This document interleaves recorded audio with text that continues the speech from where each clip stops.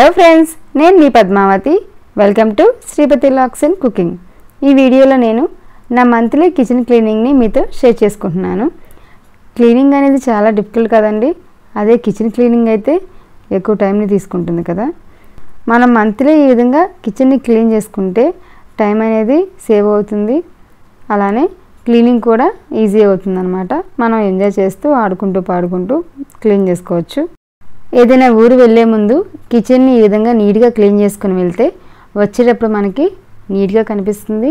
అలానే ఫ్రెష్ మైండ్తో మనం పని స్టార్ట్ చేసుకోవచ్చు అనమాట సమ్మర్లో దుమ్ము అనేది ఎక్కువగా పడుతూ ఉండిద్ది. అలాంటప్పుడు ఈ విధంగా మంత్లీ క్లీనింగ్ చేసుకుంటే మనకి ఈజీగా ఉంటుందన్నమాట. ఇక క్లీనింగ్లోకి వెళ్ళిపోదామా? ఈ క్లీనింగ్ వీడియోని ఎక్కడ స్కిప్ చేయకుండా చూడండి. అలానే ఫస్ట్ టైం మా ఛానల్ చూసినట్లయితే మా ఛానల్ని తప్పకుండా సబ్స్క్రైబ్ చేయడం మర్చిపోకండి. ముందుగా క్లీనింగ్కి ఏవేం కావాలో అవన్నీ రెడీగా పక్కన పెట్టుకుంటే ఈజీగా మనకి పని అయిపోతుంది టైం కూడా సేవ్ అవుతుంది.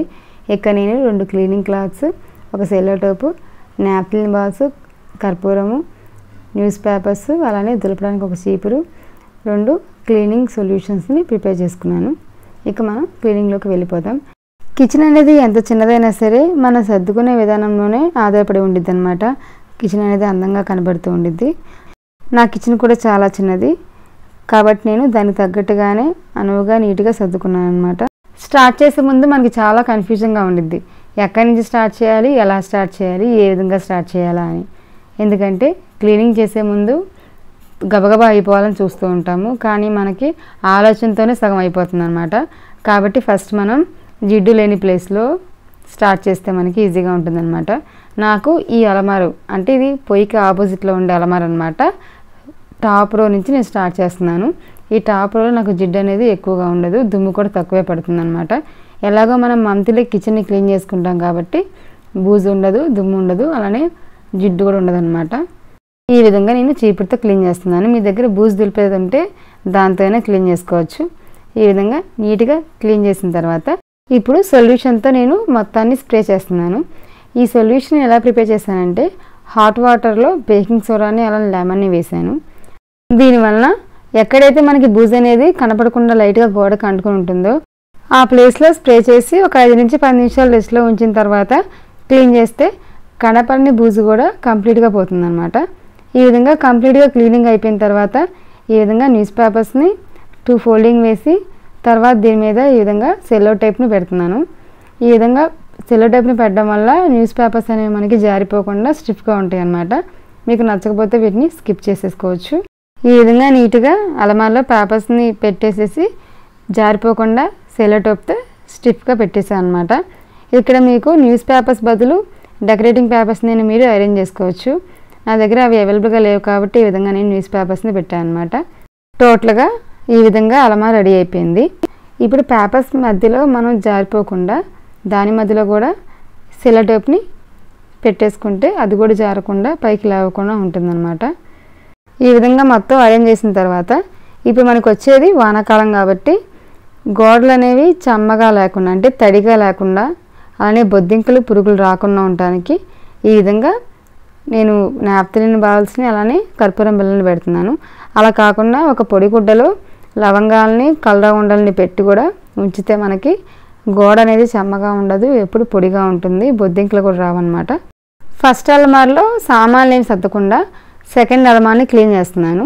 క్లీన్ చేసి ఆ క్లీన్ చేసిన వస్తువును ఈ విధంగా పైన పెడుతున్నాను అనమాట వస్తువులకి ఏమైనా జిడ్డు ఉంటే జస్ట్ వాటర్తో స్ప్రే చేసి క్లీన్ చేసుకుంటున్నాను అనమాట ఈ విధంగా క్లీన్ చేసి పైన పెట్టుకుంటే మనకి సదరానికి కూడా ఈజీగా ఉండిద్ది.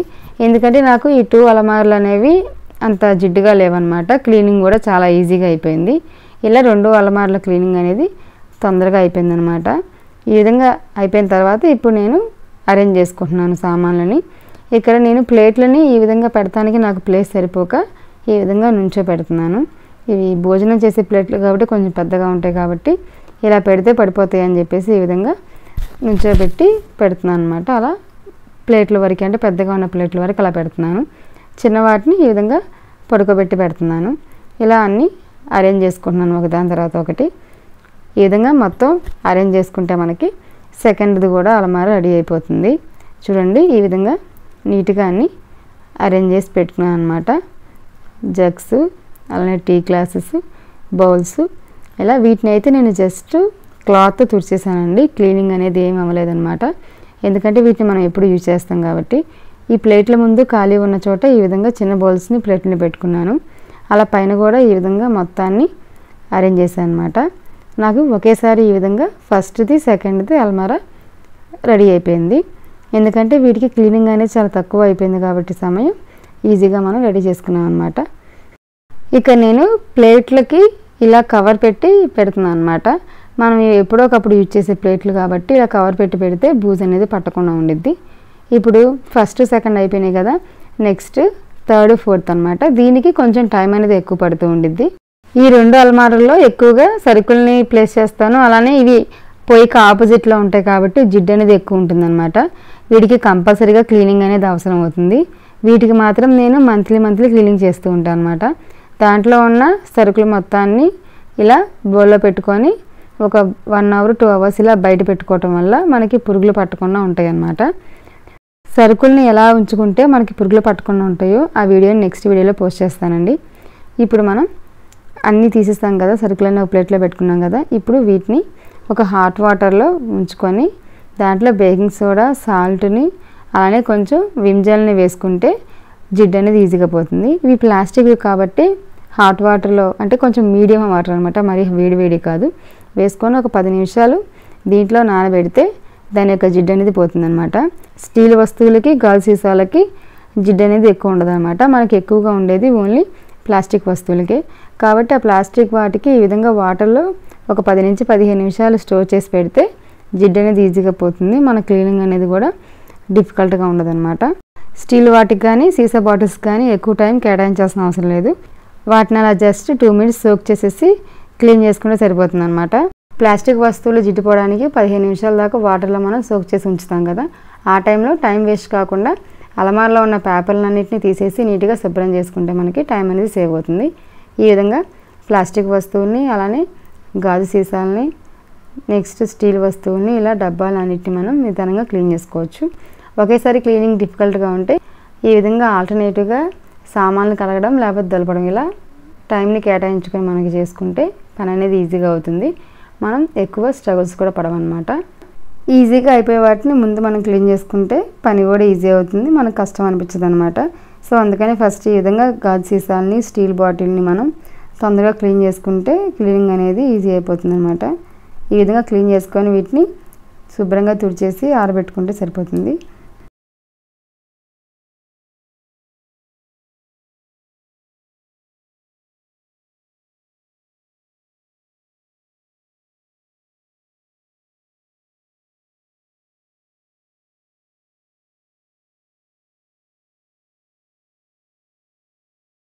క్లీనింగ్ అనేది దాదాపుగా ఆల్మోస్ట్ ఎండింగ్ అయిపోయింది అనమాట క్లీన్ చేసిన వాటిని ఈ విధంగా ఆరబెట్టేసేస్తే సరిపోతుంది. ఇప్పుడు బ్యాలెన్స్గా అలమారలో ఉన్న పేపర్స్ మొత్తాన్ని నీట్గా తీసేసి దులిపేసేసి కొత్తగా న్యూస్ పేపర్స్ని వేసుకొని వాటి మీద కర్పూరం కానీ కలరవండలు కానీ లేకపోతే లవంగాలు కానీ ఇలా బిర్యానీ ఆకును కానీ వేటినైనా వేసేసి పెట్టేసి సరిపోతుంది అనమాట ఈ విధంగా మొత్తం అంతా ఫినిష్ అయిన తర్వాత ఇప్పుడు నిదానంగా మనం ఒకదాని తర్వాత ఒకటి సరుకుల్ని సర్దుకుంటే సరిపోతుంది. ఇక్కడ సరుకులను సర్దే ముందు ఇక నేను ఈ విధంగా పేపర్ మీద నేమ్స్ని రాస్తున్నాను. ఎందుకంటే మనం ఏదైనా ఊరు వెళ్ళినప్పుడు సరుకులు అనేవి అందరికీ తెలియదు అనమాట కొన్ని ఒకే రకంగా ఉంటాయి. లైక్ ఇడ్లీ రవ్వ బొంబాయి రవ్వ ఈ రెండు కన్ఫ్యూజింగ్గా ఉంటాయి అనమాట అలానే పుట్నాల పప్పు శనగపప్పు అవి ఓపెన్ చేస్తే కానీ మనకు అర్థం కావు. అలా కన్ఫ్యూజన్ లేకుండా ఉండాలంటే ఈ విధంగా మనం నేమ్స్ రాసుకుంటే సరిపోతుంది. మనకు కాదండి. మన ఊరు వెళ్ళినప్పుడు హస్బెండ్ చేయాలంటే కొంచెం ఇబ్బంది అవుతుంది కాబట్టి ఈ విధంగా రాసుకుంటే సరిపోతుంది అనమాట ఇలా నేమ్స్ని పైన మనం స్టిక్ చేయటం వల్ల టైం కూడా మనకి సేవ్ అవుతుంది. ఏ విధంగా అంటే ఇప్పుడు ఓపెన్ చేయకుండానే పైన నేమ్స్ చూడంగానే మనం దాన్ని ఈజీగా ఓపెన్ చేసుకోవచ్చు. పొద్దున్నే హడావిడి పడకుండా ఈ విధంగా ఓపెన్ చేసుకుంటే మనకి టైం కూడా సేవ్ అవుతుంది అనమాట ఇలా ఏవైతే కనిపించకుండా ఉంటాయో వాటి మీద నేను పేపర్స్ని ఈ విధంగా స్టిక్ చేసి పెడుతున్నాను పేర్లు రాసి. ఇలా ఒకదాని తర్వాత ఒకటి పెట్టేసుకొని అన్నీ అరేంజ్ చేసుకొని అలమారిని రెడీ చేసుకున్నాను అనమాట ఈ విధంగా థర్డ్ అలమార రెడీ అయిపోయినట్టే. దీంట్లో వేటికైతే కన్ఫ్యూజింగ్గా ఉంటాయో నేమ్స్ వాటికి అలా అరేంజ్ చేశాను. అలానే కనిపించిన వాటికి ఈ విధంగా నేమ్స్ పెట్టాను అనమాట కొన్నిటికైతే నేమ్స్ రాయలేదు. ఎందుకంటే అవి ఆల్రెడీ మనకి కనిపిస్తూ ఉంటాయి. వాటి పేర్లు కూడా మనకు ఐడియా ఉంటాయి కాబట్టి వాటికి నేమ్స్ నేను ఇలా అటాచ్ చేసి పెట్టలేదన్నమాట ఇలా థర్డ్లో నీట్గా అరేంజ్ చేసుకున్నాను అనమాట ఇప్పుడు ఫోర్త్ అలమార్లో ఈ విధంగా స్టాండ్ లేకపోతే ఇలా లోటా లాంటిది ఉంటే దాంట్లో నేను ఈ విధంగా స్పూన్స్ని పెట్టి అరేంజ్ చేసుకుంటున్నాను. నెక్స్ట్ గ్లాసులని అలానే నెక్స్ట్ బాటిల్స్ మొత్తాన్ని ఇలా అరేంజ్ చేస్తున్నాను. ఎక్కువ రోజులు నిల్వ ఉంచుకునే వాటిని సీసాలో స్టోర్ చేసుకుంటే చాలా మంచిదన్నమాట. డైలీ యూజ్ చేసే వాటిని ప్లాస్టిక్ దాంట్లో ఉంచుకుంటే మంచిది. క్యాషూ నట్స్ కానీ జీడిపప్పు కానీ లేకపోతే నువ్వులు గసగసాలు ఇలా కొన్ని ఎక్కువ తెచ్చుకుంటూ ఉంటాం. వాటిని సీసాలో స్టోర్ చేసుకుంటే పాడైపోకుండా ఎక్కువ కాలం ఉంటాయి అన్నమాట దాంట్లో పురుగులు కూడా పట్టవు. అది ప్లాస్టిక్ బాటిల్ అనుకోండి ఎక్కువ నెలలు స్టోర్ ఉండవు అనమాట డైలీ యూజ్ చేసే వాటిని ఇలా ప్లాస్టిక్ బాటిల్లో పెట్టుకుంటే ఉపయోగకరంగా ఉంటుంది. ఈ విధంగా అన్నిటిని అరేంజ్ చేసి దాని మీద కూడా కొన్నిటికి కావాల్సిన వాటి మీద ఈ విధంగా ప్లాస్టర్స్ పెట్టేసేసి అరేంజ్ చేసుకున్నాను అనమాట ఇలా ఫోర్త్ అలమార కూడా నీట్గా రెడీ అయిపోయింది. ఇప్పుడు ఈ అలమారకు ఆపోజిట్లో ఉన్న గ్యాస్ స్టవ్ని అలానే దాని ఆపోజిట్లో ఉన్న వాల్ని కూడా క్లీన్ చేసుకుంటున్నాను.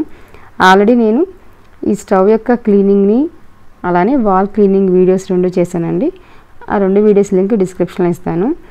ఈ గ్లాస్ టాప్ క్లీనింగ్ అనేది మనం మంత్కి ఒకసారి మాత్రమే చేయాలి.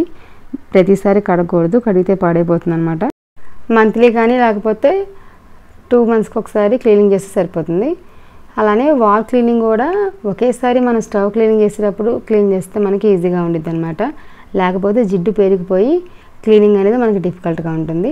వీక్లీ వన్స్ స్టవ్ మీద సొల్యూషన్ని స్ప్రే చేసి క్లీన్ చేస్తూ ఉంటాను. మంత్లీ ఈ విధంగా పొయ్యిని అలానే వాల్ని క్లీన్ చేసి పెడతాను అనమాట ఈ విధంగా పొయ్యి అలానే ఆపోజిట్లో ఉన్న ఫోర్ అలమారాస్ క్లీనింగ్ అయిపోయింది. నెక్స్ట్ ఇది ఒకటి క్లీనింగ్ అయిపోతే టోటల్గా ఫిఫ్టీ టు సెవెంటీ పర్సెంట్ మనకి కిచెన్ క్లీనింగ్ అయిపోయినట్టే అనమాట వీటికి క్లీనింగ్ అనేది తక్కువే అవుతుందండి. మనకి పై భాగాన మాత్రమే కొంచెం క్లీనింగ్ అనేది ఎక్కువ అవుతుంది అనమాట ఎందుకంటే దీంట్లో మనం అన్ని సరుకులు పెడుతూ ఉంటాము.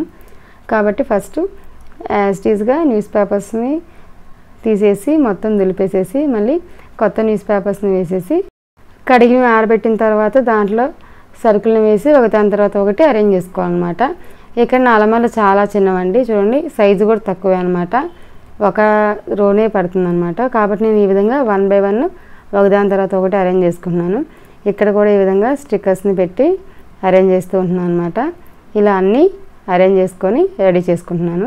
అలమార చిన్నగా ఉన్నా సరే మనం అరేంజ్ చేసేదాన్ని బట్టి సామాన్లను ఎక్కువ పడతాయి అనమాట చూడండి అలమారలో ఎన్ని సామాన్లు అరేంజ్ చేశాను ఈ విధంగా నీట్గా మనం ఒకదాని తర్వాత ఒకటి అరేంజ్ చేసుకొని తీసేటప్పుడు కొంచెం జాగ్రత్తగా తీసుకొని అరేంజ్ చేసుకుంటే బాగుంటుందన్నమాట.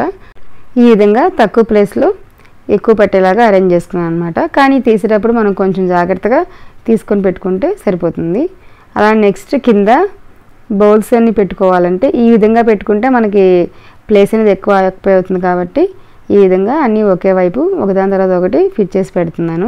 గిన్నెల్ని బోర్లించి పెడితే మనకి ప్లేస్ అనేది ఎక్కువ ఆకిపోతుంది అవుతుంది. అలానే తీసేటప్పుడు కిందవి కూడా పడిపోయే ఛాన్స్ ఉండేది అనమాట కాబట్టి ఇలా ఓపెన్ చేసి పెడితే ఒకదాని తర్వాత ఒకటి అన్నీ పడతాయి ఎక్కువగా పెట్టుకోవచ్చు అనమాట కానీ మనం యూజ్ చేసేటప్పుడు కొంచెం క్లీన్ చేసుకుంటే సరిపోతుంది. ఎందుకంటే పైన డస్ట్ అనేది పడుతూ ఉంటుంది కాబట్టి ఇలా అన్నీ చిన్న చిన్న వస్తువులు అరేంజ్ చేసుకుంటూ ఈ అలమర మొత్తం ఈ విధంగా ఫిల్ చేసుకున్నాను. నెక్స్ట్ దీంట్లోనే చిన్న చిన్నవి ఉంటాయి కదా మనకి ప్లేట్లు. వాటిని కూడా ఒకదాని తర్వాత ఒకటి అడ్జస్ట్ చేసుకొని పెట్టుకున్నాను అనమాట నెక్స్ట్ పిండి జల్లించుకునే జల్లడి ఉంది కదండి వాటికి కవర్ పెట్టి పెడుతున్నాను. ఎందుకంటే బూజు పట్టకుండా ఉంటుంది కాబట్టి అలానే దాని కింద ఈ గిన్నెలను కూడా ఇదే విధంగా ఓపెన్లో పెట్టి పెడుతున్నాను అనమాట ఎందుకంటే బోర్లించి పెడితే పద్దాక పడిపోతూ ఉంటాయి. అలానే ఓపెన్లో ఉంటే ఏం ఇబ్బంది ఉండదు. అలానే ఏమైనా మనం వాడని ఉంటే ఏదైనా కవర్లో పెట్టుకుని ఉంటే అవి బూజు పట్టుకుని ఉంటాయి అనమాట ఇలా ఈ విధంగా కిచెన్ని నీట్గా క్లీనింగ్ చేసుకున్నానండి. అలానే చిన్న కిచెన్ అయినా సరే ఈ విధంగా ప్లేస్ ఎక్కువ కనిపించేలాగా ఆగ్నే చేశాను కదా. చాలా బాగుంది కదా మీకు. అలానే పక్కన ప్లేస్లో కూడా మనకి కావాల్సిన వస్తువులను ఈ విధంగా అరేంజ్ చేసి పెట్టేసాం అనమాట ఈ రోలో అయితే మిగిలిన సరుకుల్ని ఈ విధంగా ప్లేస్ చేసి పెట్టేసేసాను. ఇలా టోటల్గా మా స్మాల్ కిచెన్ని ఈ విధంగా ఆర్గనైజ్ చేశాను అనమాట మా కిచెన్ క్లీనింగ్ని అలానే ఆర్గనైజేషన్ ఏ విధంగా చేశాను ఒకసారి మీరు కూడా ట్రై చేసి ఎలా ఉందో మా కామెంట్ రూపంలో తెలియజేయండి. మరిన్ని వీడియోస్ కోసం మా ఛానల్ లైక్ చేయండి షేర్ చేయండి కామెంట్ చేయండి. సబ్స్క్రైబ్ చేసి పక్కనే ఉన్న బెల్ ఐకాన్ మీద క్లిక్ చేసి అనే ఆప్షన్ ఎంచుకోండి. ఈ వీడియోని ఎక్కడ స్కిప్ చేయకుండా చూసినందుకు ధన్యవాదములు. Thanks for watching